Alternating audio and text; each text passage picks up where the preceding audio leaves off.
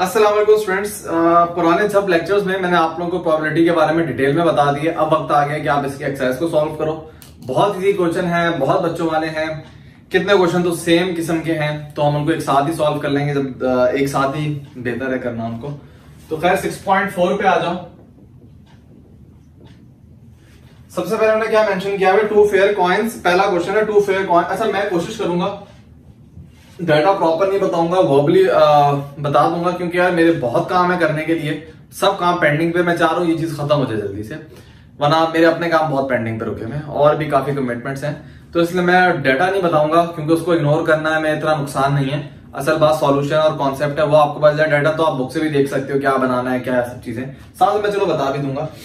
लिखा बट क्या two fair coins are tossed find the probability of getting भाई, जब भी दो कॉइन टॉस होते हैं ना तो उनका सैंपल स्पेस बड़ा आसान होता है। सैंपल स्पेस आप लिख देना कि सॉल्यूशन में आ जाना कि यार सैंपल स्पेस क्या होगा। सैंपल स्पेस टी डायग्राम के ज़रिए से बता सकते हो, वैसे भी आप बता सकते हो। ये सैंपल स्पेस है टेल हेड जब भी दो कॉइन टॉस होते हैं, ये चार आउटकम बनते हैं पुराने लेक्चर में डिटेल मैंने आप लोगों को बताया था। अब सवाल क्या सबसे पहला? पार्ट नंबर वन लिखा हुआ है प्रोबेबिलिटी बताओ कि सेम फेस आ जाए।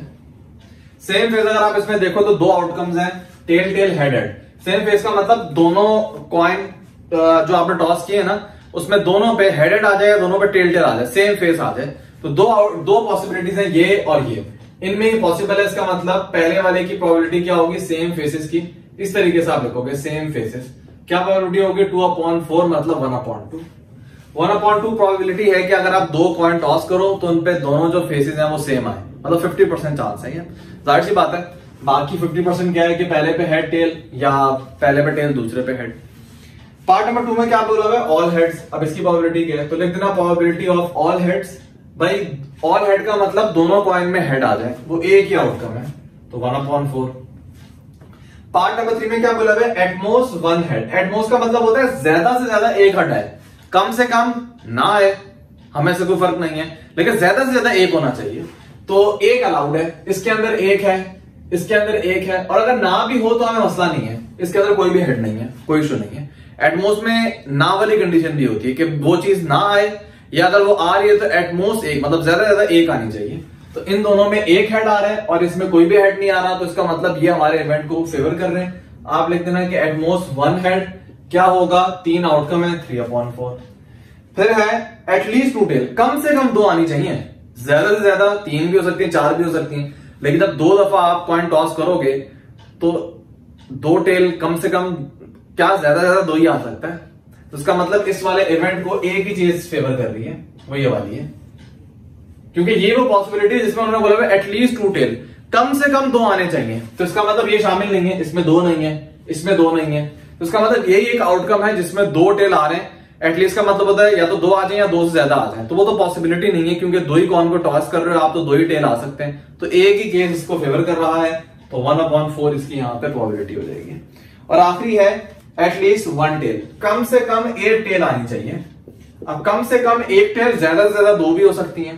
तो एक टेल वाले हैं, ये भी एक टेल वाला है, ये भी एक टेल वाला है, और यहाँ पे दो है। तो ये तीनों केसेस को फेवर कर रहे हैं प्रोबेबिलिटी हो जाएगी थ्री अपॉन फोर अब क्वेश्चन नंबर टू जो है डाइस वाला है, ये दो तीन सवाल है, मैं एक साथ ही करवा दूँगा ताकि कॉन्सेप्ट पूरा खत्म हो जाए। क्या बोला मैं दो डाइस डाई सिंगुलर है, दो होंगे तो डाइस बोलोगे आप। एक रेड है, एक ग्रीन है, हमें से कोई फ़र्क नहीं पड़ता। Are roll simultaneously the number of dots on the tops are added अच्छा। Find the probability of getting a sum of भाई, दो डाइस आपने थ्रो की हैं, उनके जो ऊपर नंबर आ रहा है ना, उसको हम ऐड कर लें।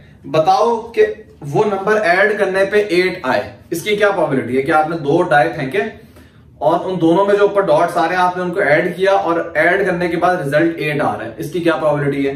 पार्ट नंबर टू में बोला टेन आने की क्या है? पार्ट नंबर थ्री में बोला ट्वेल्व आने की क्या है? तो सबसे पहले तो आप सैंपल स्पेस निकालते हो ना कि ओवरऑल आउटकम कितने हैं आपके पास। तो भाई, जब आप दो डाय फेंकते हो ना तो फ़र्स्ट प्रिंसिपल ने हमें बताया था कि छत्तीस आउटकम आएँगे। पहले पे छह आ सकते हैं, दूसरे पे भी छह आ सकते हैं। Six into six thirty six thirty six outcome यहाँ पे आएँगे। अब उनको लिस्ट करना बड़ा ज़रूरी है क्योंकि लिस्ट करोगे, उसके बाद ही आप देखोगे कि सम किसका एट आ रहा है सम किसका टेन आ रहा है। तो सबसे पहले हम सैंपल स्पेस बना लेते हैं। पेपर में भी आपने इसी तरह लिखना है मेंशन करना है सैंपल स्पेस क्या होगा? सबसे पहले वन वन फिर होगा वन टू फिर होगा one three one four one five one six मैं पहले लिख लेता हूँ, फिर हम ज़्यादा देखते हैं। पेपर में भी आपने इसी तरीके से मेंशन कर रहे हैं टोटल छत्तीस आउटकम है। फॉर एग्ज़ाम्पल पहले पे वन आ गया, दूसरे पे वन पहले पे टू दूसरे पे टू पहले पे टू तीसरे पे थ्री आ जाए. या पहले पे फोर आ जाए, दूसरे पे टू आ जाए. जब आप दो डाइस फेंकोगे तो ये सारी पॉसिबिलिटी बन सकती है. आपने लूडो खेला हो तो आपको बताओ, ये सब कुछ ना कुछ आ सकता है इसमें से. अब आपने देखना है कि ये टोटल 36 आउटकम्स है. तो प्रोबेबिलिटी के डिनोमिनेटर में 36 आएगा. आपने देखना है कि जिन इवेंट्स की बात की गई है, वो किस केस को फेवर मतलब उनको कितने केस फेवर कर रहे हैं. जैसे पहला इवेंट है कि सम एट आए. तो आप लिखना probability sum is equal to eight क्या प्रोबेबिलिटी है इसकी? तो आप जरा देखो कि इसमें सम एट आ रहा है। कौन कौन से ऐसे आउटकम्स है? तो सबसे पहली बात भाई पहले में तो सम एट आ ही नहीं सकता। मैक्सिमम सम जो है वन प्लस सिक्स सेवन होगा। इसके अंदर एट आ सकता है सबसे पहले। तो सेकंड रॉ में ये एक आउटकम है जिसमें सम एट आ सकता है। दूसरी रॉ में थ्री और फाइव इसका सम एट इसमें फोर फोर इसमें फाइव थ्री इसमें सिक्स टू तो एक, दो, तीन, चार, पाँच। पाँच ऐसे केस है जिसमें सम एट आ सकता है। बाकी किसी में एट नहीं आएगा। हाँ, हाँ। इस ऑर्डर में टू इस तरह जा रहे होगे ना आप। तो ये पाँच ऐसी पॉसिबिलिटीज हैं जिसमें सम एट आ रहा है। तो प्रोबेबिलिटी क्या हो जाएगी five upon thirty six part number two में बोला हुआ कि सम टेन आना चाहिए। लिख देना sum is equal to ten अब टेन को कितने केस फेवर कर रहे हैं भाई पहली रॉ में दूसरी रॉ में तीसरी रॉ में मैक्सिमम देखो तीसरी रॉ में नाइन आ रहा है। बाकी सबका तो सम छोटा ही होगा। चौथी रॉ में आपको टेन नज़र आ रहा है। फिर पांचवी रॉ में टेन नज़र आएगा, छठी रॉ में टेन नज़र आएगा। तो तीन ही केस फेवर कर रहे हैं। सॉल्व करना ये वन अपॉइंट ट्वेल्व प्रोबेबिलिटी हो जाएगी। पार्ट नंबर थ्री में आपको क्या बोला हुआ है कि सम ट्वेल्व आए।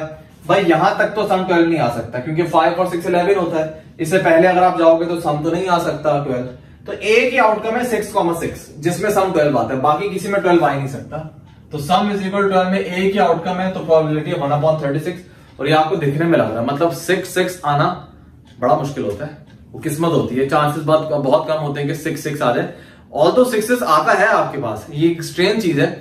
आ, लेकिन आ, एक चीज़ मैं आप लोगों को बता दूँ एक थ्योरेटिकल मैंने बताया एक थ्योरेटिकल प्रोबेबिलिटी होती है और एक एक्सपेरिमेंटल होती है। थ्योरेटिकल तो है वन अपॉन थर्टी सिक्स लेकिन मे बी आप दूसरी दफ़ा करो आपके पास छह से आ जाए तो आप बोलो यार इसकी तो प्रोबेबिलिटी इतनी कम थी तो दूसरी दफ़ा में आ गया।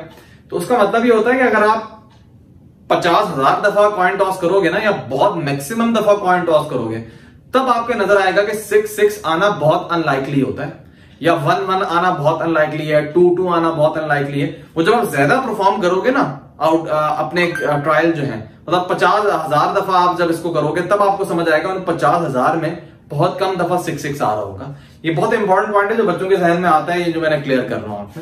तो कभी कभी आप फेंकोगे, पहली दफ़ा में सिक्स सिक्स आ जाएगा। आप कहोगे भाई प्रोबेबिलिटी इतनी कम है, पहली दफ़ा में आ गया। वो उस वक्त आपको नज़र आएगा, जब आप ज़्यादा इवेंट्स परफॉर्म करोगे ना, ज़्यादा ट्रायल्स परफॉर्म करोगे, तब आपको पता चलेगा कि हाँ यार, बात थ्योरेटिकल प्रोबेबिलिटी और जो एक्सपेरिमेंटल प्रोबेबिलिटी आप निकालोगे ना, पचास हज़ार दफ़ा ट्रायल करके उसके बाद आप देखोगे वो मैच कर रही होंगी आपस में। ये तो वही बात हुई है कि जैसे वर्ल्ड कप 2021 में मैं ख्याल में पाकिस्तान शुरू के तीन चार टॉस जीत दिया था। हालाँकि मतलब आप सोचो, जीतने की प्रोबेबिलिटी कितनी होती है? फिफ्टी होती है ना, अगर आपने क्वाइन टॉस किया है तो 50 परसेंट है कि ये वाली टीम टॉस जीतेगी 50 परसेंट उसके। लेकिन चार दफ़ा तो पाकिस्तान जीत गया था, चार से पाँच दफ़ा, जितनी दफ़ा भी। तो कहने का मतलब अगर आप ज़्यादा परफॉर्म करो, सौ दफ़ा टॉस करो, उसमें आप देखोगे फिफ्टी परसेंट ही बन रहा होगा। खैर तो ये हमारा एक सवाल कंप्लीट हो गया। अब एक और डाइस वाला सवाल कहीं ना कहीं है। मैंने पढ़ा था हाँ। फाइव में है। फाइव में तो बहुत ही अजीब सा सवाल है। फाइव लिखा हुआ dice roll find the probability using Venn diagram of getting an even number खैर, बहुत अजीब सा सवाल है, लेकिन मैं करवा देता हूँ, ये नो देते कि वेन डायग्राम आप लोगों को बनानी है। वेन डायग्राम में क्या है? भाई, तीन इवेंट की बात की गई है। सबसे पहले बात की गई है एवन नंबर की। तीन जब भी हो तो आपने इस तरीके से बनाना है। इसको ई e बोल देना। ये मेंशन कर देना कि let E be the event के वन नंबर आए। और नंबर ग्रेटर देन फोर अब इसको मैं क्या बोलूँ? जी बोल देना for example let G be the event के नंबर ग्रेटर देन फोर है। और number which is even and greater तो ई e जी कर देना कि ये वो इवेंट है ई e जी जिसमें दोनों आ रहे हैं। अब आप इसमें फिल करो। इवन नंबर भाई होते हैं टू फोर सिक्स क्योंकि आपने एक साथ ये नहीं टू फोर सिक्स फिल कर दो, आपने कॉमन भी देखना होता है ना। पार्ट नंबर टू में क्या लिखा हुआ है? Number greater than four greater than four कौन कौन से हो सकते हैं? जब आप टाइप फेंकोगे फाइव और सिक्स सिक्स इवन होता है। उसका मतलब पहले और इसमें सिक्स कॉमन आ रहा है। और फिर क्या लिखा हुआ है? Number which is even and greater than four कि ऐसा नंबर जो इवन भी हो और फोर से ग्रेटर भी हो फोर से ग्रेटर फाइव और सिक्स होते हैं, इसमें इवन क्या है? सिक्स तो उसका मतलब तीसरे वाले में सिर्फ़ सिक्स आ रहा है। तो सिक्स कॉमन है इन सब में। पहले में भी सिक्स आ रहा है, दूसरे में भी आ रहा है, तीसरे में भी सिक्स आ रहा है। तो दैट्स वाई सिक्स में यहाँ पे लिखूँगा।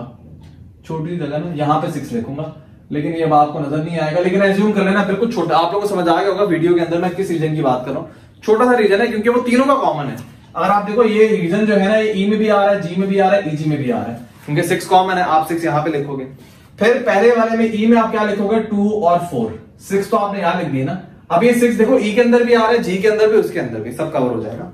पार्ट नंबर टू में बोला हुआ number greater than four four से ग्रेटर फाइव और सिक्स होता है। फाइव आपने यहाँ पे लिख दिया सिक्स आपने यहाँ पे लिख दिया। और तीसरे में तो सिक्स ही था, वो आपने दरमियान में लिख दिया। ये वेन डायग्राम आपने बनाई है प्रोबेबिलिटी आपको निकालनी है। प्रोबेबिलिटी निकालो कि आपके पास इवन नंबर आए। अब इवन नंबर की क्या प्रोबेबिलिटी होगी? तीन है इसके अंदर। अच्छा अगर आप इसमें देखो थ्री नहीं है वन नहीं है। तो आप वन और थ्री को यहाँ पे लिख दोगे, बाहर। क्योंकि ओवरऑल रेक्टेंगल का मतलब होता है सैंपल सीरीज़ आपने लिखनी होती है। तो वन थ्री अंदर मौजूद नहीं है तो उसको बाहर लिख दोगे। अच्छा आपको बोला प्रोबेबिलिटी निकालोगे इवन नंबर आए तो इवन नंबर के अंदर कितने एलिमेंट्स है? तीन है तो इवन नंबर की क्या होगी? Three upon six one upon two हो जाएगी। दूसरे में क्या लिखा हुआ है? नंबर ग्रेटर देन फोर जिसको आपने जी बोला था। कितने हैं? नंबर ग्रेटर देन फोर दो है तो प्रोबेबिलिटी क्या हो जाएगी? टू अपॉन सिक्स और तीसरा क्या था? कि नंबर इवन भी हो ग्रेटर देन फोर भी हो, उसको एक केस फेवर कर रहा था तो ये हो जाएगा वन अपॉन सिक्स तो यहाँ पे डायग्राम की ज़रूरत थी नहीं आपको वैसे भी सॉल्व कर सकते हो, लेकिन खैर, ज़बरदस्ती उन्होंने बोला है तो आपको डायग्राम बनानी पड़ेगी। और तीनों की अलग अलग बनाना इवन के अंदर आप इसको शेड कर देना, इसके अंदर आप इसको शेड कर देना, और तीसरे में आप जो कॉमन वाला रीजन है, इसको शेड करना। अलग अलग डायग्राम बनाना, सवाल आपका कंप्लीट हो जाएगा।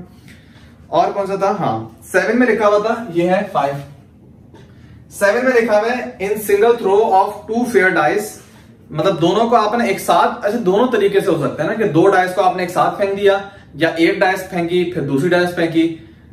ये भी हो सकता है कि एक डाई को दो दफ़ा फेंक दिया। ये एक ही बात बनेगी सबके अंदर। Find the probability that product of अब देखो अगेन आपने इसमें चीज़ मेंशन करनी है सेवन के अंदर। मैं दोबारा मेंशन नहीं कर रहा। अच्छा भाई आ, मेरी एडी में दर्द होता है। थोड़ा यूरिक एसिड मेरा बढ़ा हुआ होता है। दैट्स वाई मैं हिलता रहता हूँ। एक दफ़ा कमेंट किया था भाई हिल क्यों रहे हो ना तो खैर मुझे हैरत होती है कि भाई तुम्हें मसला क्यों हो रहा है? फ्री में पढ़ रहे हो खैर तुम। लेकिन अगर खैर आप लोगों को डिस्टर्बेंस भी हो रही है कि मेरे हिलने से तो मैं कोई जानबूझ के नहीं हिल रहा था जब तक मैं खड़ा रहता हूँ तो मसला होता है मुझे खैर अपने मसलों में बाद में बात करेंगे। तो क्या लिखा है इन्होंने कि find the probability that product of numbers on a dice is between two and ten वो कह रहे हैं कि जो आपके पास दोनों डाइस आपने फेंके हैं ना, उनपे जो नंबर्स आए हैं, उनका जो प्रोडक्ट है वो टू और टेन के दरमियान होना चाहिए जिसमें लिखा हुआ बोथ इंक्लूसिव मतलब टू और टेन भी शामिल है इसके अंदर। मतलब प्रोडक्ट या तो टू आ जाए या टेन आ जाए या इनके दरमियान आ जाए ऐसे कितने आउटकम्स हैं। तो आप इसको नाम दे देना कुछ। फॉर एग्ज़ाम्पल इसको ए का नाम दे देना कुछ भी। सबसे पहले सैंपल स्पेस तो ये हो गया ना इसको आप एज एज सेवन में कॉपी करोगे। ये सैंपल स्पेस हो गया। उसके बाद आप ए नाम दे देना। बोल देना let A be the event in which product of जो भी उनका नंबर डॉट uh, क्या लिखा हुआ है? Product of the numbers on the dice is between two and ten उसको आप ए का नाम दे देना। अब इस ए को कितने केस फेवर कर रहे हैं? आप जहाँ पे जाके देखोगे। आपने देखना प्रोडक्ट टू और टेन के दरमियान होना चाहिए। तो अगर आप इसमें देखो वन आ जाएगा। मैं यहीं पे मेंशन कर देता हूँ। ये चीज़ आपने अलग मेंशन करनी है। जितने फेवरेबल होंगे ना, इस सवाल में भी ऐसी करना कि काम करना। Sum is equal to eight वाले इवेंट को आप नाम भी दे सकते हो। बोलो sum is equal to eight मैंने नाम दिया था इसको। डायरेक्ट मैंने पुट कर दिया था ना, आप उससे पहले भी कर सकते हो। कि let A with the event के सम जो है वो एट आ रहा है। उस ए के अंदर जो भी पाँच केसेस थे वो आप मेंशन कर देना। फिर इसको बी बोल देना, इसको सी बोल देना। और फिर आप प्रोबेबिलिटी निकालना P of A P of B P of B इस तरह प्रोबेबिलिटी निकालना, ये भी अच्छी बात होती है। तो ए के अंदर आप ये सारे आउटकम मेंशन कर देना जो मैं आपको बता रहा हूँ। इसमें प्रोडक्ट टू आ रहा है, इसमें प्रोडक्ट थ्री आ रहा है फोर फाइव सिक्स इन सब में प्रोडक्ट जो है वो टू और टेन के दरमियान आ रहा है। इसी तरीके से। ये भी हो सकता है, ये भी हो सकता है, ये भी हो सकता है, ये भी हो सकता है। ये नहीं हो सकता, क्योंकि टू फाइव टेन होता है। टू फोर एट नहीं सॉरी टू और एट है ना? टू और टेन है, सही है। इसका मतलब ये भी शामिल है। ये शामिल नहीं है इसके अंदर, क्योंकि टू और सिक्स का जो प्रोडक्ट है, वो ट्वेल्व होता है ट्वेल्व इस रेंज से बाहर है। इसी तरह ये भी शामिल नहीं था, क्योंकि इसका प्रोडक्ट वन है, जो कि इससे बाहर है। इसी तरह ये भी शामिल है, ये भी शामिल है, ये भी शामिल है। थ्री फोर शामिल नहीं, क्योंकि ट्वेल्व हो जाएगा। अच्छा इसी तरह ये भी शामिल है, ये भी शामिल है, ये शामिल नहीं है। ये भी शामिल है, ये भी शामिल है फाइव टू जा। अच्छा इसी तरह ये शामिल है और और शामिल नहीं है। तो कितने हो गए? एक, दो, तीन, चार, पाँच, छह, सात, आठ, नौ, दस, ग्यारह, बारह, तेरह, चौदह, पंद्रह, सोलह, सत्रह, अठारह। भाई अट्ठारह इसके अंदर आएँगे तो जब आप इसकी प्रोबेबिलिटी निकालोगे प्रोबेबिलिटी हो जाएगी एटीन अपॉन थर्टी सिक्स मतलब वन अपॉन टू बहुत ज़्यादा चांसेस है ना कि यार प्रोडक्ट टू और टेन के दरमियान हो, क्योंकि काफ़ी बड़ी रेंज दे दी है टू और टेन इन्होंने। पार्ट नंबर टू में क्या बोला हुआ डिविजिबल ये पार्ट नंबर वन हो गया। पार्ट नंबर टू में डिविजिबल बाई फाइव अब आप क्या करोगे? बोला लेट बी इवेंट जिसमें प्रोडक्ट जो है मतलब दोनों डाइस पे जो नंबर आ रहा है, उसको जब आप मल्टीप्लाई कर रहे हो तो जो प्रोडक्ट आ रहा है, वो फाइव से डिविजिबल होगा। फाइव से डिविजिबल का मतलब कि जब आप उसको फाइव से डिवाइड करोगे तो रिमाइंडर कुछ नहीं बचेगा, एक होल नंबर आ रहा होगा। तो ऐसे कौन से इसके अंदर आ रहे हैं? इनको ब्लैक से जरा हम करते हैं कि जिनको जो फाइव से डिविजिबल है। सबसे पहली बात ये इसके अंदर आएगा। क्योंकि वन को फाइव से मल्टीप्लाई करो फाइव आएगा। फाइव को जब आप फाइव से डिवाइड करोगे तो डिवाइड हो जाएगा ना। तो एक तो ये हो गया। फिर इसका प्रोडक्ट टू है, ये फोर है, ये सिक्स है, ये एट है टेन इसका मतलब ये भी डिविजिबल है। टेन डिविजिबल होता है फाइव से। Three six nine twelve fifteen fifteen divisible है और एटीन नहीं है। Four eight twelve sixteen twenty twenty divisible है। ट्वेंटी फोर नहीं है। फाइव फाइव वन ये डिविजिबल है। फाइव टू टेन ये भी डिविजिबल है। अच्छा ये तो सारे डिविजिबल होंगे ना? Five three fifteen five four twenty five five twenty five five six thirty ये सब तो डिविजिबल होंगे, क्योंकि ये फाइव का टेबल ही चल रहा है ना पूरा। Six twelve eighteen twenty four thirty ये डिविजिबल है। और ये थर्टी सिक्स है थर्टी सिक्स नहीं है। तो काउंट करो, एक, दो, तीन चार, पाँच छ सात, आठ, नौ, दस, और यहाँ से ग्यारह। अगर मैं काउंटिंग में मिस्टेक कर दूँ तो बाद में मेंशन कर देना कि सर मिस्टेक हुई भी है। तो 11 इसको फेवर कर रहे हैं 11 अपॉन 36 इसकी प्रोबेबिलिटी हो जाएगी। उसके बाद एक और भी सवाल मुझे नज़र आया था। अगेन 10 में लिखा हुआ pair of fair dice is thrown again आप ये सैंपल स्पेस बनाओगे। If the two numbers appearing are different find the probability that sum is 10 वो बोल रहे हैं कि पार्ट नंबर में बोला ना कि सम 10 आना चाहिए, इसकी प्रोबेबिलिटी बताओ। लेकिन उससे पहले उन्होंने क्या बोला है कि डिफरेंट होने चाहिए। मतलब दोनों कंडीशन है। एक कंडीशन तो सवाल में पाइबिल्टन दे दिया आपको, जो दोनों पार्ट में आपने अप्लाई करनी है, कि नंबर्स डिफरेंट होने चाहिए। मतलब इस वाले में ये शामिल नहीं है, ये शामिल नहीं है, ये शामिल नहीं है, ये शामिल नहीं है, ये शामिल नहीं है, ये शामिल नहीं है। क्योंकि इनमें तो सेम होता है ना दोनों number one one two two three three तो वो कहने सेम ही होना चाहिए डिफरेंट होना चाहिए। टू थ्री हो जाए फोर फाइव हो जाए डिफरेंट होना चाहिए वो। अब पार्ट वन में क्या है कि डिफरेंट हो, और साथ पार्ट वन में उन्होंने क्या बोला कि सम टेन होना चाहिए। अब आप देखो सम टेन कहाँ पे होगा जिसपे दोनों नंबर डिफरेंट है। भाई, यहाँ पे सम टेन नहीं हो सकता, यहाँ पे भी नहीं हो सकता, यहाँ पे भी नहीं हो सकता, यहाँ पे हो सकता है। ये आपका रीजन है, मैं डॉट बना रहा हूँ, जिसका सम टेन है। ये नहीं आप कंसिडर कर सकते, इसका सम तो टेन है, लेकिन ये डिफरेंट नहीं है। इसी तरह ये हो सकता है, इसमें मैं डॉट बना रहा हूँ। तो दो ही ऐसी पॉसिबिलिटी है, जिसमें सम टेन हो सकता है और वो नंबर डिफरेंट होंगे। दो आउटकम है तो प्रोबेबिलिटी क्या हो जाएगी? क्वेश्चन नंबर कौन सा है ये? क्वेश्चन नंबर टेन है तो प्रोबेबिलिटी हो जाएगी जो भी इसको नाम दे देना यार आप लोग बेहतर जानते हो पहले सैंपल स्पेस पूरा मेंशन कर देना। प्रोबेबिलिटी हो जाएगी two upon thirty six solve करना वन अपॉन एटीन हो जाएगी। फिर दूसरा पार्ट क्या है सम इज़ सिक्स और लेस कि सम जो है वो सिक्स या सिक्स से कम हो। अब इसको कौन से फेवर कर रहे हैं? इसमें सम सिक्स से कम है। आ, इसको मिटा देते हैं ना ताकि डॉट हम पहचान सके। ये आपने अलग से मेंशन करने होंगे। ए मेंशन करके सारे आउटकम मेंशन कर देना ताकि आसानी हो जाए। तो इसको इसी तरह इस इवेंट को बी का नाम दे देना सारे मेंशन कर देना। इसमें सम सिक्स से कम है इसमें कम है इसमें कम है। और उन्होंने बोला कि सम आ, सम की बात है ना तो फिर ये नहीं आएगा। उन्होंने बोला है कि सम सिक्स हो या सिक्स से कम हो तो इसमें सम सिक्स आ रहा है ये भी शामिल है और इसमें सम सिक्स से कम आ रहा है ये भी शामिल है। ये शामिल नहीं हो सकता क्योंकि इसमें सम सिक्स से कम तो है लेकिन इन दोनों नंबर सेम है। सवाल में पहले बोल देता कि दोनों डिफरेंट होने चाहिए। अगेन इसमें सम सिक्स से कम है सिक्स से कम सिक्स से कम कम। ये तो सिक्स ही है ना। इसी तरह ये भी शामिल होगा ये भी शामिल होगा। आ, नहीं ये शामिल नहीं हो सकता सेम है ना? ये भी शामिल नहीं हो सकता और इसका सम तो सिक्स से ग्रेटर है। इसी तरह ये शामिल हो सकता है ये शामिल हो सकता है लेकिन सिक्स से ग्रेटर है। इसी तरह ये शामिल हो सकता है ये शामिल नहीं हो सकता और ये तो वैसे शामिल भी नहीं हो सकता।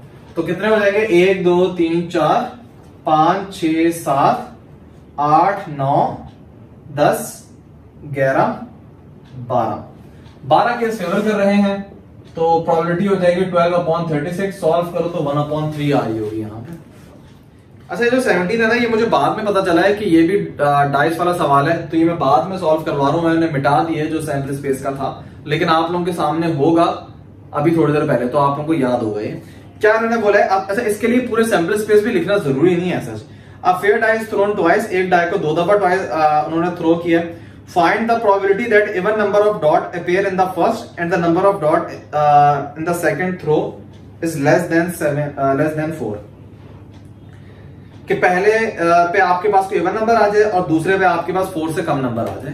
तो अगर आप पहली रॉ में देखोगे ना पहली रॉ में इवन नंबर आएगा मैं ये आउटकम लिख देता हूँ। क्वेश्चन नंबर सेवनटीन है ना मैं यहाँ पे लिख देता हूँ। तो आप ये लिख देना कि पहले वो एक काम करना बना लेना पूरा सैंपल स्पेस बना लेना उसके बाद आप ये इवेंट को कह देना कि इवेंट क्या है कि पहले पे इवन आए और दूसरे पे लेस देन फोर आए। अब इसको कितने केस फेवर कर रहे हैं? अगर आप पहली रॉ में देखो तो पहले नंबर पे टू था। आ, ये वाला केस जो है फेवर कर रहा है टू कॉमा वन क्योंकि इसमें पहले पे इवन आ रहा है और दूसरे पे फोर से कम नंबर आ रहा है। फिर दूसरा होगा फोर नहीं नहीं ये पहली रॉ में नज़र नहीं आएगा। पहली रॉ में ऐसा कोई भी केस फेवर क्योंकि पहली रॉ में पहला नंबर वन वन होगा ना तो पहला नंबर इवन होना चाहिए। तो पहली रॉ में कोई आपको फेवरेबल आउटकम नहीं मिलेगा। जो दूसरी रॉ इसमें मिलेगा, दूसरी रॉ में होगा टू कॉमा वन इसी तरीके से टू कॉमा टू इसी तरीके से टू कॉमा थ्री बस दैट्स इट दूसरी रॉ में और कोई नहीं मिलेगा। तो इन सब में अगर आप पहला देखो, पहला इवन है, और दूसरा अगर आप देखो तो वो फोर से कम है। अब तीसरी रॉ में आ जाना, इसको मैं पहले लिख देता हूँ। तीसरी रॉ में कौन कौन सा होगा? तीसरी रॉ में कोई भी नहीं होगा। क्यों? क्योंकि तीसरी रॉ में पहला नंबर जो है वो थ्री होगा और थ्री एक इवन नंबर नहीं है। आपको पहला इवन चाहिए। तो अब चौथी रॉ में आओ। चौथी रॉ में होगा four comma one four comma two four comma three इन तीनों के अंदर पहला नंबर इवन है और दूसरा नंबर जो है फोर से कम है। पांचवी रॉ में भी कुछ नहीं होगा। छठी रॉ में क्या होगा? Six comma one six comma two six comma three तो अगर आप देखो टोटल कितने आउटकम है? टोटल नौ आउटकम आ रहे हैं। वैसे भी आप इसको मालूम कर सकते हो। पहली थ्रो में इवन नंबर कितने आ सकते हैं? टू फोर सिक्स तीन। और दूसरी थ्रो में फोर से फोर से कम नंबर कितने आ सकते हैं? वन टू थ्री तो थ्री इंटू थ्री नाइन इस तरह भी आप कैलकुलेट कर सकते हो। तो ये नाइन बेहतर है लिस्ट बना लो ज़्यादा बेहतर है। तो नाइन अपॉन थर्टी सिक्स जो है, वो यहाँ पे प्रॉबिलिटी हो जाएगी। क्वेश्चन नंबर थ्री में बोला गया, काफ़ी इजी क्वेश्चन है यार, उनके सॉल्यूशन काफ़ी इजी है। डेटा आप लोग बना लेना। क्वेश्चन नंबर थ्री में बोला गया बैग कंटेन्स 40 बॉल्स भाई टोटल बॉल कितनी है? लिख देना टोटल बॉल्स है 40 अच्छा फिर लिखा हुआ है out of which green five है, लिख देना टोटल ग्रीन बॉल्स फाइव फिर बोला हुआ है, पंद्रह रेड है। तो लिख देना, पंद्रह रेड है। And the remaining are black remaining कितनी है भाई? बीस है। तो ब्लैक बॉल बीस है। A ball is drawn out of the bag again देखो, एक बॉल इन्होंने उठाई है। तो आप कॉम्बिनेशन यहाँ पे यूज़ नहीं कर सकते थे। वरना मैंने आप लोगों को बताया था पुराने लेक्चर्स में कि जब बॉल्स या कार्ड जो आप उठाते हो ना कितनी बॉल्स हैं, इसमें से दो कार्ड उठाए या तीन बॉल्स आपने उठाई तो वहाँ पे कॉम्बिनेशन आप यूज़ करते हो।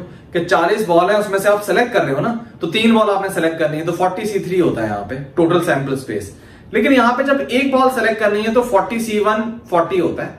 लाइक like सिंपल 40 आपके पास बॉल है 40 में से आपने एक सेलेक्ट करनी है तो 40 तरीकों से आप कर सकते हो. पहली वाली, दूसरी वाली, तीसरी वाली, इस तरह उठा के. तो 40 बॉल है, एक बॉल उठानी है 40 तरीके.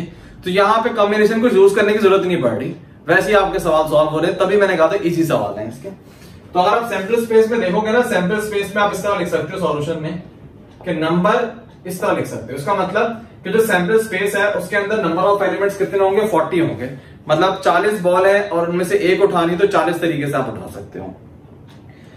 लिखा हुआ क्या? Find the probability of getting the ball is green कि जो एक बॉल आपने उठाई है मालूम करो। अच्छा इसको इस तरह भी लिख सकते हो। आप यहाँ पे ना आ, इस तरह लेट कर सकते हो। कि नंबर अच्छा इनको पूरा भी आप लिख सकते हो इस तरीके से, समझाने के लिए। देखो डिफरेंट तरीके होते हैं, मैं ऑप्शन दे रहा हूँ, जो आपको आसानी हो। या गाइड में आपने देखा होगा अच्छा लग रहा है तरह कर लो। मैंने कोई गाइड कोई सॉल्यूशन नहीं देखा, मुझे नहीं पता कि प्रेजेंटेशन क्या करनी बेसिक बेसिक में आप लिख सकते हो। इसको आप लिख सकते हो नंबर ऑफ़ जी लिखा हुआ है ना जी की जगह ग्रीन बॉल आप कर देना। नंबर ऑफ़ ग्रीन बॉल इतनी है नंबर ऑफ़ रेड बॉल इतनी है नंबर ऑफ़ ब्लैक बॉल इतनी है।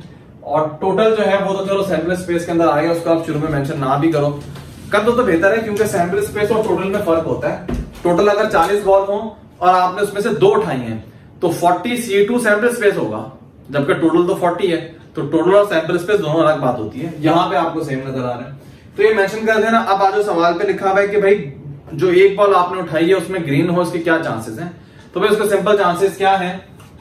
प्रोबेबिलिटी कि वो ग्रीन हो।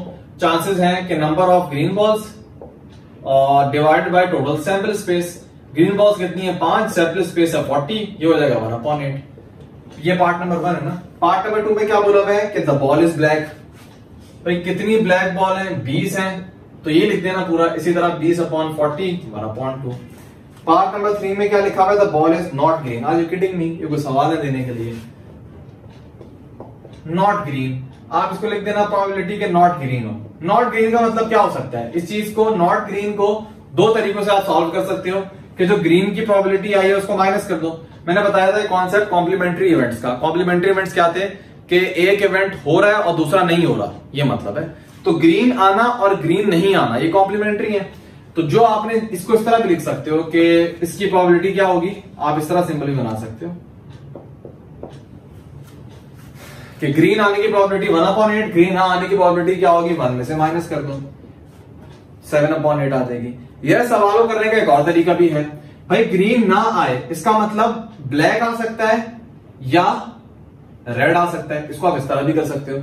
ग्रीन नहीं आ रहा, इसका मतलब क्या या तो ब्लैक आएगा रेड आएगा। तो आप क्या करोगे सिंपल ब्लैक और रेड की प्रोबेबिलिटी को ऐड कर दोगे। ब्लैक की प्रोबेबिलिटी वन अपॉइंट टू है जिसको इस लैंग्वेज में हम लिखते हैं ट्वेंटी अपॉइंट फोर्टी और रेड आने की प्रोबेबिलिटी क्या है? फिफ्टीन अपॉन फोर्टी तो ये हो जाएगा thirty five upon forty solve करो सेवन अपॉन एट आ रहा है। तो इस तरह भी आप सॉल्व कर सकते हो। डिफरेंट तरीके हैं। आप आसानी से सॉल्व कर सकते हो सवाल को। अब फोर इतना बच्चों वाला सवाल है, मैं क्या करवा उसके अंदर? मैं समझा देता हूँ। फोर में लिखा हुआ अगेन एक कार्ड उठा रहे हैं। मसला ही नहीं है कुछ इसके अंदर।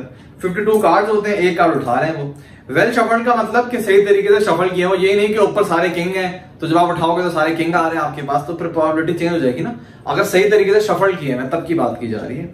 Find the probability of getting a king king आने की कितनी प्रोबेबिलिटी है? भाई 52 में से चार किंग होते हैं तो four upon fifty two part number two में लिखा हुआ गेटिंग अ क्लब भाई टोटल तेरह क्लब कार्ड होते हैं तो 52 में से तेरह क्लब है तो प्रोबेबिलिटी क्या होगी? थर्टीन अपॉन फिफ्टी टू अगर आप एक कार्ड उठाओ क्लब आने के कितने चांसेस हैं? Thirteen upon fifty two part number three में क्या देखा हुआ गेटिंग अ फेस कार्ड भाई बारह फेस कार्ड होते हैं। तो अगर आपने कार्ड उठाया और बताओ कितने चांसेस हैं कि फेस कार्ड आ जाए तो ट्वेल्व अपॉन फिफ्टी क्या सवाल है, क्या कर पाऊँगा इसके अंदर? फाइव तो मैंने आप लोगों को पहले बता दिया था। सिक्स में क्या बोला हुआ है? In a three child family by using tree diagram find the probability of having again tree diagram बनानी है। लेकिन इतनी मुश्किल नहीं है। भाई, यहाँ पे एज्यूम आपने यही करना है कि दो पॉसिबिलिटी है, मर्द और औरत। तीसरी पॉसिबिलिटी वहाँ पे नहीं पैदा हुई। एज्यूम आप यही करोगे, वरना सवाल आपका फिर मुश्किल हो जाएगा। तो हम दो पॉसिबिलिटीज को लेके चलते हैं। थ्री चाइल्ड फैमिली है। आपने बताना है कि प्रोबेबिलिटी क्या क्या प्रोबेबिलिटीज हो रही है? मतलब बच्चे करो भाई, उनको सही तरह परवरिश करो, यहाँ पे उनकी प्रोबेबिलिटीज आप निकाल रहे हो। तो क्या होगा ये? क्या कहते हैं? क्या पॉसिबिलिटीज है? फ़र्स्ट ड्रॉ नहीं फ़र्स्ट ड्रॉ नहीं मतलब पहला अगर पैदा होगा तो क्या पॉसिबिलिटी है कि वो बॉय हो सकता है या वो गर्ल हो सकता है? अगर आप इसको ट्री डायग्राम बना रहे हो ना प्रॉपर तो इस तरह बनाते हैं। तो बॉय गर्ल दो पॉसिबिलिटी है। फिर जब आपका दूसरा होगा, माशाल्लाह तो क्या पॉसिबिलिटीज हो सकती है? दूसरा बॉय भी हो सकता है गर्ल भी हो सकती है। अब अगर तीसरी दफ़ा इंशाल्लाह अगर पैदा होगा आपके घर रौनक आएगी अगर तो तीसरी दफ़ा भी क्या हो सकता है कि वो मतलब पहली दफ़ा भी बॉय दूसरी दफ़ा भी बॉय तीसरी दफ़ा भी बॉय हो सकता है, या तीसरी दफ़ा गर्ल हो सकता है। इसी तरह बॉय इसी तरह गर्ल यहाँ पे भी करो पहली दफ़ा गर्ल हो गया, दूसरी दफ़ा बॉय हो सकता है, तीसरी दफ़ा भी बॉय या तीसरी दफ़ा गर्ल हो। इसी तरह दूसरी दफ़ा अगर गर्ल हो जाए, तीसरी दफ़ा बॉय हो सकता है। और अगर तीसरी दफ़ा गर्ल हुआ तो शायद चौथी दफ़ा भी होगा, क्योंकि अगर तीन लड़कियाँ हो जाए तो कोशिश क्या होती है, लड़का होना चाहिए था। उसी चक्कर में पाँच, छह, सात, आठ लाइनें लग जाती हैं बुरी सात बहनें, एक भाई है। तो क्या बताऊँ, खैर, हम किस टॉपिक पे निकल गए? ये टोटल आउटकम्स है। अब इन आउटकम्स को अगर आप लिस्ट करो तो क्या होगा? पहला बॉय दूसरा बॉय तीसरा बॉय इसी तरह पहली बॉय मतलब पहला बॉय दूसरा बॉय तीसरी गर्ल इस टाइप का पूरा बन रहा होगा। डी डायग्राम आपने बनाई है। अब इन्होंने क्या पॉसिबिलिटी लिखी हुई है? फाइंड द प्रोबेबिलिटी के तीन बॉयज़ हो। जाए भाई, तीन बॉयज़ होने की एक ही प्रोबेबिलिटी है। आप इनके सामने लिख देना कि बी बी बी या तो इनके सामने लिख देना, या फिर एक काम करना, बल्कि ज़्यादा अच्छा तरीका क्या है कि सैंपल स्पेस का बनाना और ये पूरे आठ आउटकम जो है वो मेंशन कर देना। फिर लिखना कि let A be the event के थ्री बॉयज़ हो। तो फिर प्रोबेबिलिटी ऑफ़ ए निकालनी है। क्या होगी भाई? तीन बॉयज़ होने का एक ही आउटकम है। ठीक है? ओवरऑल कितने? आठ। तो वन अपॉन एट कम प्रोबेबिलिटी है ना? तीन अगर आपके बच्चे होंगे तो बहुत कम चांसेस है कि तीनों बॉयज़ हो। एग्जैक्टली टू बॉयज़ कि जिसमें दो बॉयज़ होने चाहिए। अब वो पहला बॉय हो, दूसरा गर्ल हो, तीसरी बॉय हो जेंडर मैंने सारे चेंज कर दिए सबके।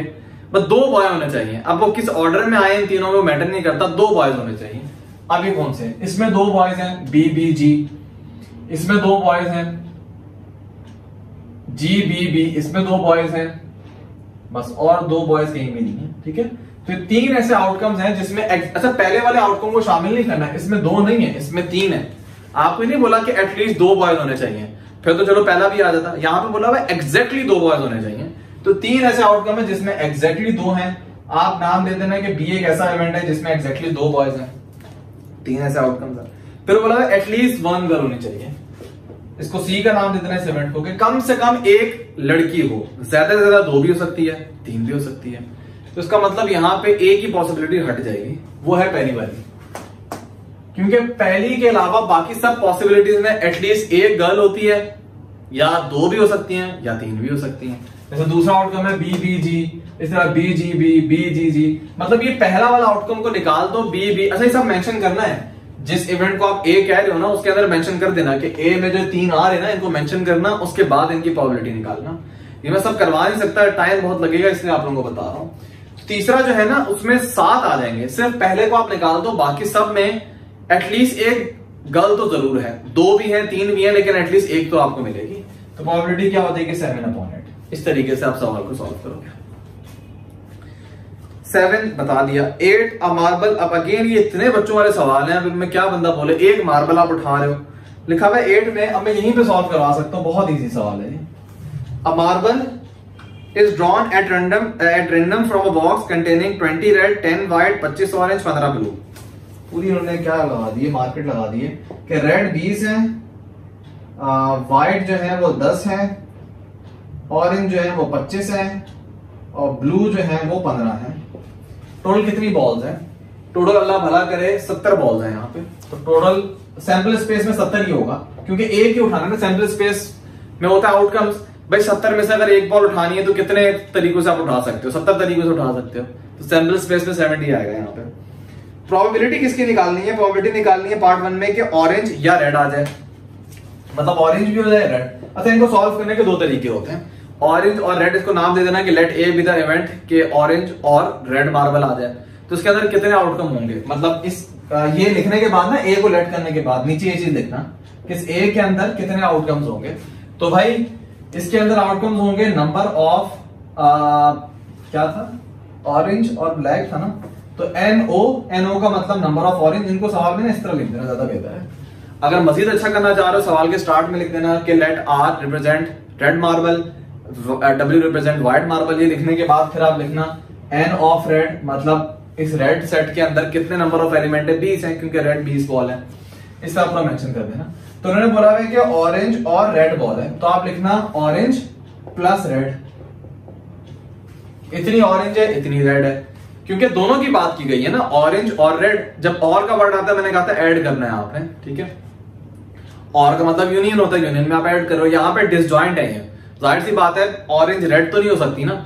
या ऑरेंज और रेड में से ऐसा कुछ तो नहीं कॉमन हो कॉमन तो कुछ नहीं है। जब कॉमन होता है तो आप सब्ट्रैक्ट भी कर रहे होते हो ना? तो कॉमन तो कुछ भी नहीं है डिसजॉइंट है यहाँ पे। सिंपल आप ऐड कर रहे होगे। तो ऑरेंज कितने हैं भाई? 25 हैं। और रेड कितने हैं? 20 हैं। तो ये हो जाएगा 45 उसके बाद आप इसकी प्रोबेबिलिटी निकालो। प्रोबेबिलिटी का फॉर्मूला होगा N of A divided by N of S मतलब सैंपल स्पेस 45 अपॉन सेवेंटी मजीद सॉल्व करना 9 अपॉन 11 नहीं सॉरी 9 अपॉन 14 आ जाएगा। तो एक तो सॉल्व करने का तरीका ये है। दूसरा सॉल्व करने का तरीका ये है कि आप इनकी अलग अलग प्रोबेबिलिटी निकाल के ऐड कर दो। जैसे ऑरेंज की प्रोबेबिलिटी होगी 25 अपॉन सेवेंटी रेड की प्रोबेबिलिटी होगी 20 अपॉन सेवेंटी इन दोनों को ऐड कर दो, तब भी आ रहा होगा। डिफरेंट तरीके से कर सकते हो। तो डायरेक्ट आप इस तरह कर देना पी ऑरेंज यूनियन रेड फिर लिखना P of orange plus P of red दोनों की प्रोबेबिलिटी निकालना और फिर ऐड कर देना।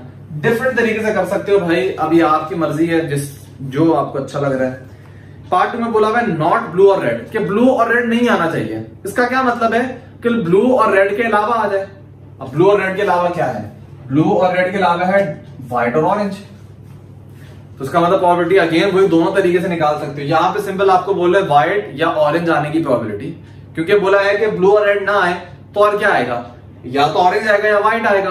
तो या मतलब वही, या तो व्हाइट या ऑरेंज वही डब्ल्यू यूनियन ओ तो क्या होगा? 10 plus twenty five thirty five thirty five upon forty इसकी थर्टी फाइव अपॉन सेवेंटी इसकी प्रॉबिलिटी हो जाएगी। मतलब वन अपॉन टू प्रॉबिलिटी हो जाएगी। या इसको सॉल्व करने का एक और तरीका भी है कि ब्लू और रेड की प्रॉबिलिटी निकाली कि नहीं निकाली? तो आप क्या करना? ब्लू और रेड की प्रॉबिलिटी निकाल लेना। Twenty plus fifteen thirty five upon seventy not blue और रेड को क्या होगा? जो इसकी प्रोबेबिलिटी आएगी, उसको वन से माइनस कर देना। मतलब ब्लू और रेड की प्रोबेबिलिटी आ रही है thirty five upon seventy not blue और रेड की क्या होगी? वन में से जब थर्टी फाइव अपॉन सेवेंटी करोगे तो again thirty five upon seventy आ जाएगा यहाँ पे। दोनों तरीके से आप इस सवाल को सॉल्व कर सकते हो। पार्ट नंबर थ्री में क्या बोला हुआ है? रेड आ जाए व्हाइट आ जाए ब्लू आ जाए, इन तीन में से कुछ भी आ जाए। या तो रेड आ जाए, या एक साथ नहीं बोला हुआ। या तो रेड आ जाए, या व्हाइट आ जाए, या ब्लू आ जाए। अगर एक साथ बोला होता ना कि रेड भी आए खैर, एक साथ तो नहीं हो सकता ये। लेकिन वो इस सवाल में नहीं हो सकता। अगर तीन होते ना, तब सेंस बन सकती थी उसकी। यहाँ पर बोला, या तो रेड आ जाए। मतलब प्रोबेबिलिटी क्या है रेड की? ट्वेंटी अपॉन सेवनटीन या व्हाइट आ जाए। व्हाइट की प्रोबेबिलिटी क्या है? टेन अपॉन सेवेंटी या ब्लू आ जाए। ब्लू की प्रोबेबिलिटी क्या है? फिफ्टीन अपॉन सेवेंटी तीनों को ऐड कर देना। आपके पास आंसर आ जाएगा। क्वेश्चन नंबर नाइन अगेन बड़ा इजी है। The king queen jack of clubs are remove from a deck of 52 playing cards भाई, जो 52 कार्ड्स है ना, उसमें से आपने king queen jack of club club के तेरह कार्ड होते हैं। मैंने बताया था कम्बिनेशन के इंट्रोडक्शन में, मैंने डिटेल में बताया था कि जो तेरह क्लब के कार्ड है ना, उसमें से जो क्लब का जैक है क्लब का क्वीन है और क्लब का किंग है, उसको उन्होंने निकाल दिया तो हुआ क्या है अब? क्वेश्चन नंबर नाइन में कि अब आपके पास टोटल कार्ड जो है टोटल कार्ड अब रह गए फोर्टी नाइन अच्छा क्लब के अंदर कितने कार्ड रह गए? क्लब के अंदर अब रह गए दस कार्ड क्योंकि तीन कार्ड उसके निकाल दिए। खैर, इस टाइप की तो बहुत पॉसिबिलिटी बन सकती है। सारा सवाल देखते हैं, सवाल में करना क्या है आपको। A card is drawn from the remaining card इसका मतलब 49 कार्ड में से आपने एक कार्ड उठाया। अगेन जो सैंपल स्पेस है, उसमें 49 बनेंगे। क्योंकि 49 में से अगर दो कार्ड उठाए होते हैं तो आप बोलते हैं 49 C2 कॉम्बिनेशन लगाते हैं यहाँ पे। 49 में से एक कार्ड उठाया तो 49 C1 जो के बराबर होगा 49 के। तो कोई कॉम्बिनेशन लगाने की ज़रूरत नहीं है सैंपल स्पेस में टोटल 49 है। मतलब प्रोबेबिलिटी के डिनोमिनेटर में 49 निकाल लगाओगे हमेशा। तो पार्ट वन में क्या प्रोबेबिलिटी निकालो? हार्ट आ जाए। हार्ट आ जाए। अब हार्ट के कितने कार्ड होते हैं? अब हार्ट को कोई फ़र्क नहीं पड़ा। हार्ट के तेरह कार्ड अपनी जगह पे। तो जो 49 रिमेनिंग कार्ड है ना, उसमें से आप कोई अगर कार्ड उठाओ तो क्या चांसेस है कि हार्ट आ जाए? भाई तेरह हार्ट कार्ड है टोटल 49 है thirteen upon forty nine part two में क्या अच्छा इसके डाटा आप लोग ने खुद बनाना है भाई। ये काम आप लोग को मुश्किल काम नहीं है। जिस तरीके से आपको अच्छा लगता है ना, आप उसको मैंने बहुत से ऑप्शंस आपको बताए उस तरह आप कर सकते हो। या गाइड बुक में आपको आसानी से डाटा मिल जाता है। पार्ट नंबर टू में बोला हुआ है कोइन अगेन कोइन को कोई फ़र्क नहीं पड़ा। नहीं कोइन को फ़र्क पड़ा है। देखो, जो उन्होंने यहाँ पे कार्ड उठाए थे ना, ये तीन जो क्लब के कार्ड थे, वो उठाए थे। लेकिन उसमें से जैक कोइन किंग ये उन्होंने उठा लिया था। तो हार्ट के कार्ड को तो फ़र्क नहीं पड़ता। हार्ट के तेरह कार्ड तो अपनी जगह पे मौजूद थे। लेकिन पार्ट टू में बोला हुआ क्वीन अब सवाल है कि टोटल क्वीन कितनी है? टोटल आपके पास तीन क्वीन है यहाँ पे। क्योंकि वैसे तो चार क्वीन होती हैं, लेकिन एक क्वीन आपने क्लब की उठा ली है तो इसका मतलब अब रिमेनिंग क्वीन कितनी है? अब अगेन ये चीज़ डाटा में आप मेंशन कर देना कि रिमेनिंग क्वीन अब तीन है, क्योंकि एक क्वीन तो आपने उठा के साइड पर रख दी है। तो अब प्रोबेबिलिटी क्या होगी? थ्री अपॉन फोर्टी नाइन फिर बोला हुआ पार्ट नंबर थ्री में क्लब क्लब आने के कितने चांसेस हैं? तो भाई पहले टोटल तेरह क्लब कार्ड थे अब तीन आपने उठा लिए अब कितने बचे? दस क्लब कार्ड तो ten upon forty nine club आने की प्रोबेबिलिटी होगी। पार्ट नंबर फोर में नाइन ऑफ़ रेड कलर ये थोड़ा ट्रिकी सवाल है। भाई जो रेड है ना उसके अंदर कोई क्लब नहीं आता ये जहन में रखो। आ, आपके पास 26 रेड होते हैं 26 ब्लैक होते हैं। ये जो क्लब है ना ये ब्लैक के अंदर आता है। ये रेड के अंदर नहीं आ रहा होता ठीक है? तो रेड के अंदर जो तेरह छब्बीस रेड होते हैं ना उन 26 रेड के अंदर तेरह हार्ट होते हैं और तेरह डायमंड होते हैं। तो उनको तो कोई फ़र्क नहीं पड़ा। तो इन्होंने बोला है कि नाइन ऑफ़ रेड आ जाए। इसकी क्या प्रोबेबिलिटी है? अब, रेड के अंदर नाइन कितने होते हैं? देखो, अगर आप बड़ी बड़ी क्लासिफिकेशन देखो ना, ब्लैक ब्लैक के अंदर दो होते हैं। क्लब, स्पेड, फिर होता है रेड। रेड के अंदर होता है हार्ट, डायमंड। ये होता है ना। अभी नाइन के कार्ड कहाँ पे होते हैं? यहाँ पे एक आपको नाइन का कार्ड मिलेगा, यहाँ पे एक नाइन का कार्ड मिलेगा, यहाँ पे एक नाइन का, यहाँ पे एक नाइन का। मतलब नंबर्स कार्ड होते हैं ना टू से लेकर टेन तक नंबर्स लिखे होते हैं। उसमें से नाइन वाला जो कार्ड है, वो चार होते हैं। चारों यहाँ पे मिले होते हैं। तो सवाल ने बोला है कि अगर आपने उन फोर्टी नाइन कार्ड में से एक कार्ड उठाया और वो नाइन का रेड मतलब रेड का नाइन कार्ड हुआ, इसके क्या चांसेस है? तो रेड के कितने नाइन कार्ड होते हैं? रेड के दो नाइन कार्ड होते हैं। रेड के अंदर दो नाइन के कार्ड होते हैं ना तो टू अपॉन फोर्टी नाइन इसकी प्रोबेबिलिटी हो जाएगी। उन्होंने टोटल नहीं बोला कि नाइन नंबर कार्ड आ जाए, इसकी प्रोबेबिलिटी क्या होगी। अगर ये बात बोलते ना तो यहाँ पे होता चार, क्योंकि यहाँ पे टोटल चार है ना। और क्लब में जो आपने तीन कार्ड रिमूव किए हैं, वो नाइन वाला रिमूव नहीं किया था। इसका मतलब नाइन यहाँ पे मौजूद है। तो टोटल नाइन के कितने कार्ड होते हैं? चार होते हैं। तो तब प्रोबेबिलिटी थी फोर अपॉन फोर्टी नाइन लेकिन यहाँ पर उन्होंने नाइन की प्रोबेबिलिटी नहीं पूछी। उन्होंने बोला नाइन ऑफ़ रेड रेड के अंदर जो नाइन है, वो आने के कितने चांसेस है? इसका मतलब चांसेस थोड़े कम हो जाएँगे ना, मजीद कम हो जाएँगे। स्पेसिफिक बात कर दी गई है। तो रेड के अंदर दो नाइन के कार्ड होते हैं तो टू अपॉन फोर्टी नाइन यहाँ पर प्रोबेबिलिटी हो जाएगी। तो हो गया सवाल। क्वेश्चन नंबर टेन जो है अगेन डाइस का करवा दिए। इलेवन जो है, इसी तरीके से सिक्सटीन जो है ना, ये थोड़े अलग है। ये उसके हैं। यही बात थर्टीन के अंदर भी है। इनको एक साथ में सॉल्व करवा दूँगा। ट्वेल्व में लिखा हुआ है if one card is selected at random from a deck of 52 playing cards again वही बच्चों वाली बात। What is the probability that card is a club और अ फेस और अ बोथ कि भाई क्लब और फेस अच्छा। 52 कार्ड है, आपको बोला जा रहा है, उसमें से एक कार्ड उठा रहे हैं। अगेन भाई, लिखना टोटल 52 कार्ड सैंपल स्पेस में कितने होंगे? 52 होंगे, क्योंकि 52 C1 52 होंगे। 52 में से एक उठाना है तो 52 तरीके से आप उठा सकते हो। अब सवाल बोला गया कि क्लब आ जाए या फेस आ जाए या दोनों आ जाए। मतलब ऐसा कार्ड आ जाए जो क्लब भी है और फेस भी है। क्लब के अंदर फेस होते हैं ना, ये जो क्लब है, इसके अंदर आपके पास तीन फेस कार्ड होते हैं ना? फेस कार्ड होते हैं जैक किंग क्वीन तो क्लब के तीन ये फेस कार्ड होते हैं। तो बोल रहे हैं कि ऐसी पॉसिबिलिटी अच्छा बच्चे यहाँ पे क्या करते हैं? वो कहते हैं कि भाई क्लब के कितने कार्ड होते हैं? क्लब के तेरह कार्ड होते हैं। अच्छा फेस कार्ड कितने होते हैं? नौ फेस कार्ड होते हैं। सॉरी बारह फेस कार्ड होते हैं। तो थर्टीन प्लस बारह ट्वेंटी फाइव इसका मतलब ट्वेंटी फाइव कार्ड आप न्यूमिनेटर में लिखोगे डिनोमिनेटर में फिफ्टी टू लिखोगे। वो ये बात भूल जाते हैं कि जो तेरह क्लब आपने गिने हैं और जो बारह फेस कार्ड गिने, इसमें से कितने कार्ड आपने दो दफ़ा गिन लिए अब ये वही वैन डायग्राम का कॉन्सेप्ट था जो मैंने आपको दिया था। इसको आप इस तरह भी लिख सकते हो कि ये डाटा बनाना total 52 cards number sample space में कितने 52 हैं, और जो आपका इवेंट है उसको नाम दे देना। Let A be the event कि वो कार्ड फेस हो, या क्लब हो, या दोनों हो। उसके अंदर कितने, उस इवेंट्स के अंदर जिसको आपने ए का नाम दिया, उसके अंदर कितने आउटकम आएँगे? उसके अंदर टोटल आपके पास आई गेस उन्नीस आएँगे काउंट करके देख लेते हैं। कैसे पता चलेगा? मुझे यही कैलकुलेशन आपने करनी है जो मैं आप लोगों को बता रहा हूँ। इसको चलो एज इज़ रहने दो, ऊपर नहीं कर देता हूँ। ये क्वेश्चन नंबर कौन सा है? क्वेश्चन नंबर ट्वेल्व है। तो उसमें क्या करोगे आप? वो जो ए इवेंट आपने बोला होगा ना, कि ए इवेंट है जिसमें क्लब फेस या दोनों दोनों आ जाए, उसमें क्या होगा? भाई देखो टोटल तेरह क्लब कार्ड होते हैं। अच्छा टोटल बारह फेस कार्ड होते हैं। लेकिन इसमें से माइनस थ्री करोगे, क्योंकि तीन इंटरसेक्शन है इनके। जो आपने ये जो तीन कार्ड है ना, जय किंग क्वीन ये आपने क्लब के अंदर भी काउंट किए और ये आपने फेस कार्ड के अंदर भी किए। फेस कार्ड जो बारह होते हैं, वो कैसे आपने काउंट किए थे? तीन यहाँ पे, तीन यहाँ पे, तीन यहाँ पे, तीन यहाँ पे। तो इसके तीन आपने, इसके अंदर भी काउंट किए हुए और ये तीन जो है, ये आपने क्लब के अंदर भी काउंट किए हुए मतलब एक, ये जो तीन कार्ड है, इनको दो दफ़ा आपने काउंट किया हुआ है। तो इस चीज़ को खत्म करने के लिए आप एक दफ़ा माइनस थ्री करोगे। ये फॉर्मूला होता है ए यूनियन बी का। ये कंसिडर कर लो क्लब को आप, ये मैं वैसे समझा रहा हूँ, इधर ए बोलने की ज़रूरत नहीं है। क्लब को ए बोल दो और फेस कार्ड को बी बोल दो। तो यहाँ पे ए यूनियन बी की बात की गई है ना क्लब या फेस कार्ड आते तो ए यूनियन बी का फॉर्मूला क्या होता है? Number of element in A plus number of element in B minus number of element in A intersection B अगर इनके दरमियान कुछ कॉमन है तो आपको सब्ट्रैक्ट करना पड़ेगा। वरना वो दोनों में आपने काउंट किया हुआ होगा। तो अब अगर आप इसको सॉल्व करोगे ना 13 प्लस 12 ये हो जाएगा 25 25 में से 3 माइनस कर दो 22 हाँ तो 22 इसके अंदर आएँगे।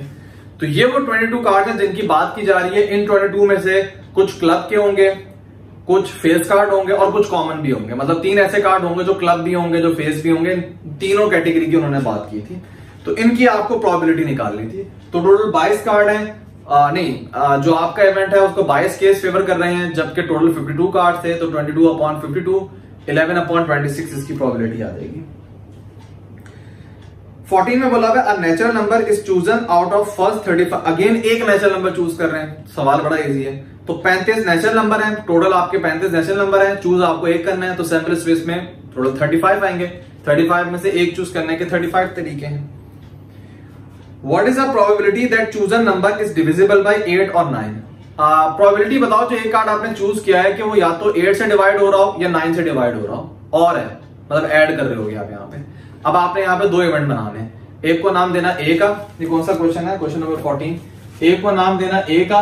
ए वो इवेंट होगा जिसमें नंबर डिविजिबल बाय एट होंगे। अब कौन कौन से नंबर डिविजिबल बाय एट है? Eight sixteen twenty four thirty two इसके बाद जो नंबर्स हैं, वो फिर 35 से ग्रेटर होंगे। क्योंकि सवाल में बोला था वन से लेके 35 के दरमियान ही आपने चूज़ करने तो इसके बाद जो होगा, वो 40 होगा 40 35 के अंदर नहीं आता। इसी तरीके से बी को कहते ना कि वो नंबर नाइन से डिविजिबल है। कौन कौन से होंगे? नाइन एटीन ट्वेंटी सेवन इसके बाद थर्टी सिक्स होगा, वो थर्टी फाइव से बाहर है। इसका मतलब अब इनमें कुछ कॉमन भी नहीं है। तो यहाँ पे आप इनको ऐड करोगे, जैसे पहले आपने सब्ट्रैक्ट किया था ना, यहाँ पे सब्ट्रैक्ट करने वाला कॉन्सेप्ट नहीं है, क्योंकि डिसजॉइंट है, कुछ कॉमन नहीं है इनके दरमियान। तो इसके अंदर चार है, इसके अंदर तीन है। तो जो आपका इवेंट है ना ए यूनियन बी उसको कितने केस फेवर कर रहे हैं? सात केस फेवर कर रहे हैं। कि या तो आपके पास एट से डिविजिबल कोई नंबर आ जाए, या नाइन से डिविजिबल आ जाए। तो टोटल सात केस इसको फेवर कर रहे हैं। तो इसी की प्रोबेबिलिटी अगर आपने निकालनी हो तो seven upon thirty five probability आ जाएगी। मतलब वन अपॉन फाइव 15 में क्या बोला हुआ है? अब बैग कंटेनिंग के इस टाइप के सवाल बहुत किए 15 black and 25 red and 10 white है। बॉल इज़ ड्रॉन है। Find the probability that it is either red or white मतलब रेड और व्हाइट का यूनियन तो भाई 25 रेड है।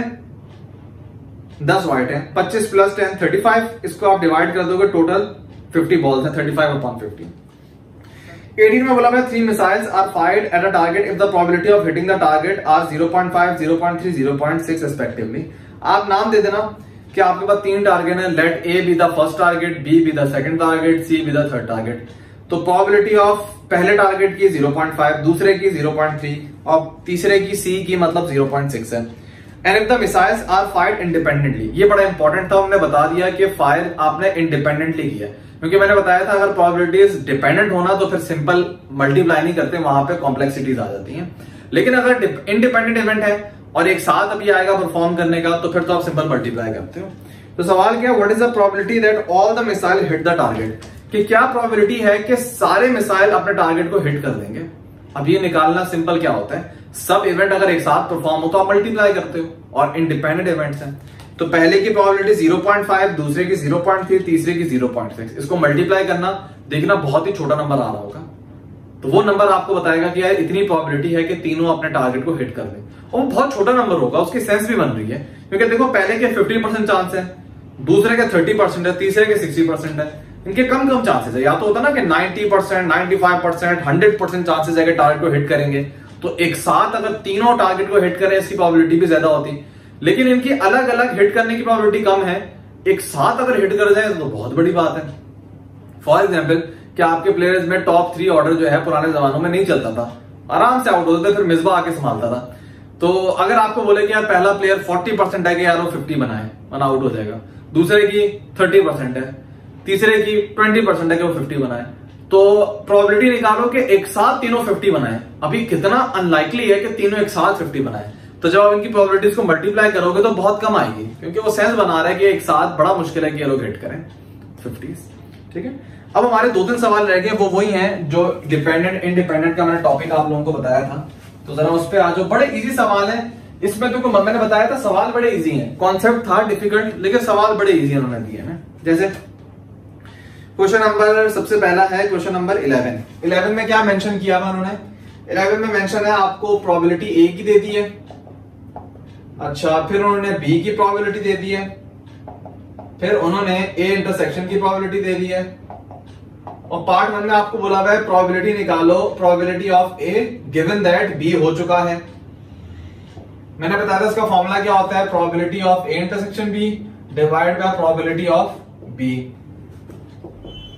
तो पुट कर दो ए इंटरसेक्शन बी की है 0.2 डिवाइडेड बाय बी की क्या है 0.7 सॉल्व करना आपके पास आंसर आ जाएगा। पार्ट नंबर टू में बोला है probability of B given that A occur again intersection की प्रोबेबिलिटी 0.2 डिवाइडेड बाय अब ए की प्रोबेबिलिटी वो 0.3 है। क्या करना है सवाल के अंदर बच्चों वाला? क्वेश्चन नंबर 13 देखो। दो ही सवाल नहीं, तीन सवाल थर्टीन में लिखा हुआ है फ्रॉम टू इवेंट ए और बी ए बी की प्रोबेबिलिटी दे दी है यूनियन की दे दी है। अच्छा ये डिपेंडेंट इंडिपेंडेंट का नहीं है, मुझे जहाँ तक लगता है। हाँ नहीं, ये तो बड़ा इजी है। ये तो वो वाला कॉन्सेप्ट नहीं है। 0.5 और बी की प्रोबेबिलिटी दे दी है 0.2 और यूनियन की प्रोबेबिलिटी दे दी है 0.4 और आपको बोला हुआ इंटरसेक्शन की निकालो। तो ये वाला सवाल नहीं जो मुश्किल टॉपिक था, ये तो सिंपल ए यूनियन बी की प्रोबेबिलिटी निकालने का कॉन्सेप्ट होता है। मैंने बताया था जब आपने ए यूनियन बी की प्रोबेबिलिटी निकालनी है, और इवेंट्स में कुछ ना कुछ इंटरसेक्शन भी है मतलब एक साथ भी वो हो सकते हैं तो प्रोबेबिलिटी का फॉर्मूला क्या होता है? ए की प्रोबेबिलिटी प्लस बी की प्रोबेबिलिटी माइनस इंटरसेक्शन की प्रोबेबिलिटी ये फॉर्मूला होता है ए यूनियन बी का। ठीक है? ये मैंने डिटेल में थ्योरी में सारे टॉपिक क्लियर किया है। आपको निकालनी है इसकी। तो ए यूनियन बी का ये वाला फॉर्मूला था कि ए की प्रोबेबिलिटी प्लस बी की प्रोबेबिलिटी माइनस इंटरसेक्शन की प्रोबेबिलिटी अब आपको ये चीज़ निकालनी है तो इस वाली चीज़ को आप इधर ले आओ और ये यूनियन वाली चीज़ उधर जाके क्या हो जाएगी? सब्ट्रैक्ट हो जाएगी। तो ए इंटरसेक्शन का ये वाला पूरा फॉर्मूला बन जाएगा। तीनों वैल्यूज़ आपको पता है। 0.5 0.2 ये 0.7 हो जाएगा, माइनस इसको कर दो तो 0.3 आपका फाइनल आंसर आ जाएगा। आखिरी सवाल है क्वेश्चन नंबर 16 आपको ए बी नहीं, आपको सिर्फ़ ए की प्रोबेबिलिटी दी हुई है। क्वेश्चन नंबर 16 आपको उन्होंने ए की प्रोबेबिलिटी दी है वन अपॉन फोर और उन्होंने दी हुई है probability of A given that B हो चुका है one upon two probability of B given that A हो चुका है। और बोला हुआ find probability of A intersection B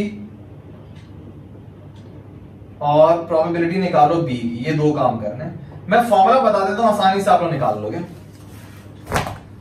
A intersection अच्छा आपको भी क्या पता है? देखो, ये चीज़ जो है, अगर आप इसको सॉल्व करो, इसका फॉर्मूला भी आपने पढ़ा है।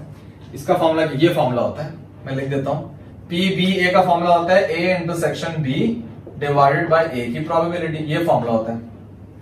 तो आपने क्या करना है? सॉल्यूशन में सबसे पहले इस फॉर्मूले को कंसीडर करना है। आपको पी ए पता है यहाँ पे। आपको पी बी ए पता है यहाँ पे। ये भी चीज़ पता है, ये भी चीज़ पता है। आप ये आसानी से निकाल लोगे। पी ए को इससे मल्टीप्लाई कर देना। तो वन अपॉइंट फोर को इससे मल्टीप्लाई करोगे टू अपॉइंट ट्वेल्व मतलब वन अपॉइंट सिक्स आ जाएगा। फिर आप पी बी निकालना। पी बी निकालना बड़ा इजी है। कैसे निकालोगे? आप इसका फॉर्मूला कंसीडर करना। तो आपको पी भी निकालना है। अब आपने इंटरसेक्शन ऑलरेडी मालूम कर लिया होगा इंटरसेक्शन वन अपॉइंट सिक्स आ रहा था। और ये चीज़ आपको ऑलरेडी सवाल पता है वन अपॉइंट टू तो इसको उधर ले जाना और इस वाली चीज़ को बदल ले आना। तो पी भी आ जाएगा। One upon six upon one upon two solve करना I guess one upon three आ रहा होगा। तो आपके पास डायरेक्ट यहाँ पे आंसर आ जाएगा।